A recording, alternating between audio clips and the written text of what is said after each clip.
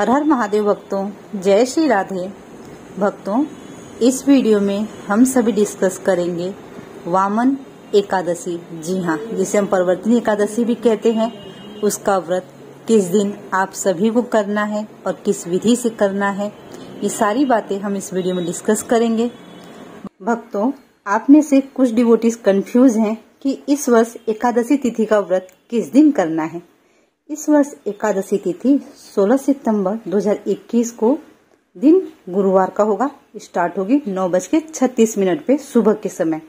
It means 16 सितंबर को 16 सितंबर को जो एकादशी तिथि होगी, वो दसवीं युक्त होगी। और जैसा मैंने आपको पहले भी बताया है, हमारे शास्त्रों में, गरुण पुराण में ऐसा उल्लेख आता है कि हमें दसवीं युक्त एकादशी तिथि का व्रत नहीं करना चाहिए। दसवीं युक्त एकादशी तिथि का व्रत माता गांधारी ने एक बार किया था, जिसके वजह से उनके सौ पुत्रों का नाश हो गया था। तो हम सभी एकादशी तिथि दसवीं युक्त नहीं करेंगे। इस वर्ष एकादशी का व्रत आप सभी को 17 सितंबर, जी हाँ 17 सितंबर 2021 दिन होगा फ्राइडे का। उस दिन आप सभी को एकादशी का व्रत करना है। एकादशी तिथि फ्राइडे के दिन सुबह आठ बज के सात मिनट तक रहेगी। इट मीन्स सूर्योदय के समय एकादशी तिथि रहेगी। इसलिए हम सभी एकादशी का व्रत फ्राइडे के दिन सत्तर सितंबर को करेंगे। भक्तों, एकादशी का पारण जो होगा, वो आप सभी, हम सभी 18 सितंबर 2021 को मीन्स दिन होगा, शनिवार का उस दिन पारण करेंगे। जो पारण का समय होगा, वो होगा सुबह छह बज के सत्ताईस मिनट से लेकर के छह बज के चौवन मिनट का। जी हाँ बहुत कम अवधि है। इस अवधि में आपको पारण करना है तो आप सुबह जल्द जाग करके प्रभु की पूजा पाठ कर लें और इसी समय में पारण करें। और फ्रेंड्स, ये जो समय है, मुंबई वालों के लिए है। अगर आपको आपके शहर का पारण समय नहीं पता है तो आप मुझे कमेंट बॉक्स में अपने शहर का नाम बता दें। मैं आपको पारण समय बता दूँगी। क्योंकि हर शहर का सिटी टू सिटी पारण समय जो होता है वो डिफरेंट होता है। तो आप प्लीज़ मुझे अपने शहर का नाम कमेंट बॉक्स में बताएँ, मैं आपको बता दूँगी पारण समय। फ्रेंड्स मेरी आप सबसे रिक्वेस्ट है प्लीज़ वीडियो को और भी डिवोटीज के साथ शेयर करें, ताकि उनका व्रत खराब नहीं हो। अगर आपको नॉलेज है तो नॉलेज को शेयर करें, प्रभु कार्य में मेरी हेल्प करें। भले का कार्य है ना, किसी का व्रत अच्छे से हो जाए, कितनी अच्छी बात है, किसी को पुण्य मिलेगा आशीर्वाद मिलेगा उनके मन से आपको भी। तो मेरी हेल्प ज़रूर करें।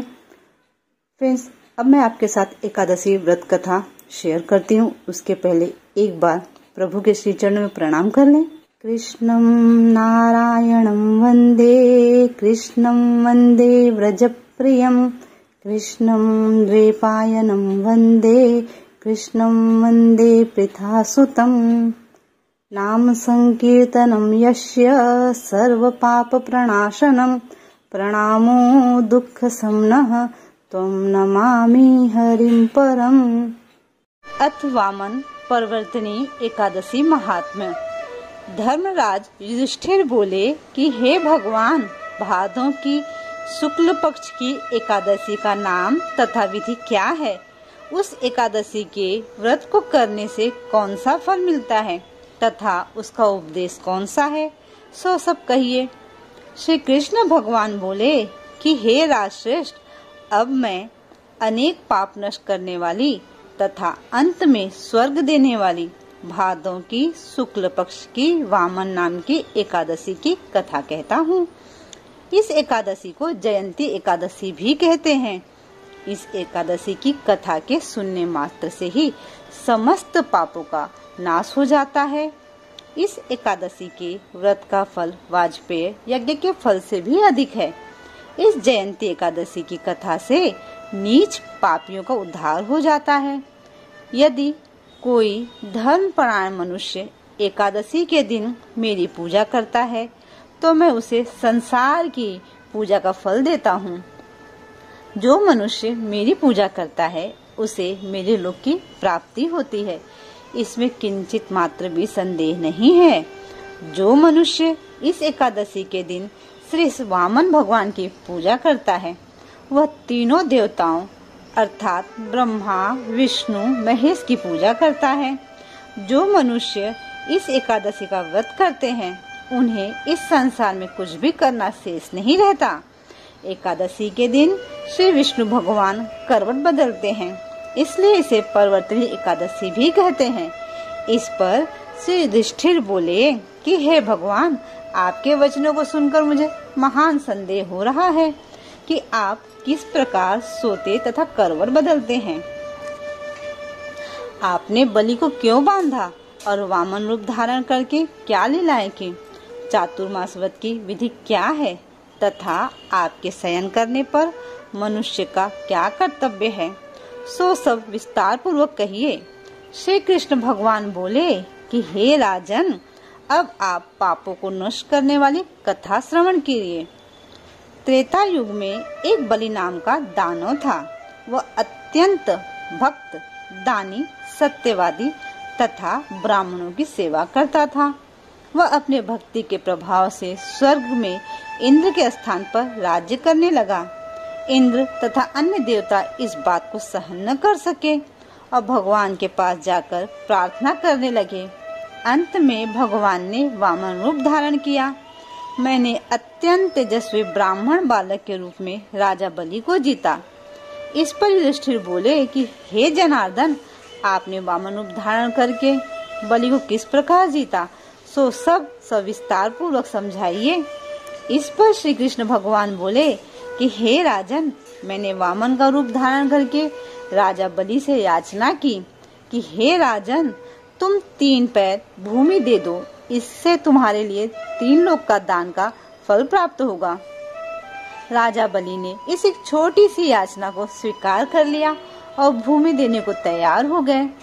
तब मैंने अपने आकार को बढ़ाया और भूलोक में पैर भूलोक में जंघा, स्वर्गलोक में कमर महलोक में पेट, जनलोक में हृदय, तपलोक में कंठ और सत्यलोक में मुख रखकर अपने सिर को ऊँचा उठा लिया उस समय सूर्य, चंद्र, नक्षत्र, इंद्र तथा अन्य देवता आदि शास्त्रानुसार मेरी स्तुति करने लगे उस समय राजा बलि को पकड़ा, मैंने पकड़ा और पूछा कि, हे राजन, अब मैं तीसरा पैर कहाँ रखूँ?